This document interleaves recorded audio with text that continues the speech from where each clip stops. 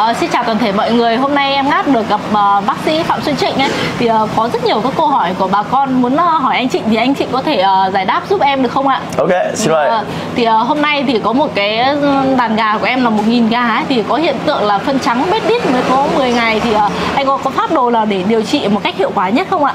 Ok, cảm ơn uh, câu hỏi của bác sĩ uh, Ngan Nguyên và cảm ơn uh, câu hỏi của khán giả.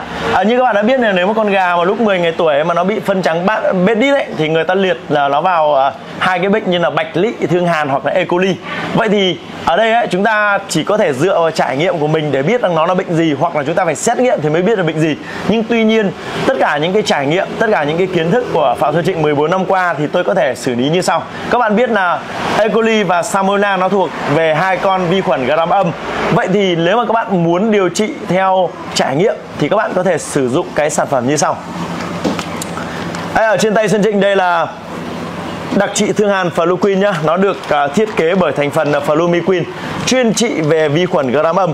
Vậy thì nếu một con gà của chúng ta nó bị phân trắng bết đít này hoặc là uh, chúng ta có thể liệt nó vào là E. coli và thương hàn thì chúng ta sẽ sử dụng cái thuốc là đặc trị thương hàn Fluquin này, thành phần của nó là Flumiquin. Nó sẽ chữa dứt điểm cái triệu chứng bệnh tích mà bác sĩ Nguyễn Ngát vừa hỏi trong vòng khoảng từ 3 ngày đến 5 ngày và cảm ơn uh, bác sĩ Nguyễn Ngát mời bác sĩ cầm ờ, sản phẩm ạ. Vâng, cảm ơn anh chị rất là nhiều. Các cô chú và anh chị mà muốn biết thêm về cái dòng sản phẩm uh, đặc trị thương hàn Flumiquin này thì hãy uh, comment ngay dưới những video của em Ngát. Cảm ơn anh chị rất là nhiều. Vâng, cảm ơn bác sĩ Nguyễn Ngát.